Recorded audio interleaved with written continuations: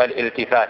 من فوائد هذا الالتفات أولا بيان عظم هذا القرآن وذلك بأسلوبه اللغوي الرفيع الذي يفوق أسلوب العرب لأن هذا من أساليب العرب وهو الانتقال أو الالتفات. الفائدة الثانية رسم منهج وطريق للداعية إلى الله عز وجل في الدعوة إلى الله.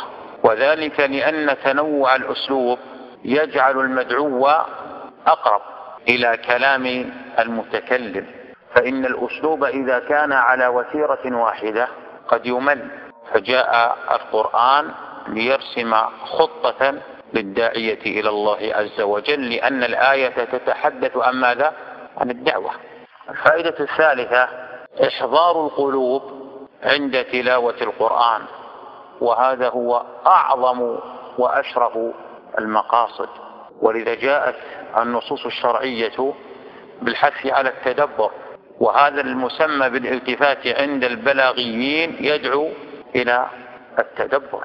فإن الإنسان إذا كان في تأمل في الآية السابقة ثم ينتقل به الأسلوب إلى أسلوب آخر يقف ثم ينظر لماذا تغير هذا الأسلوب.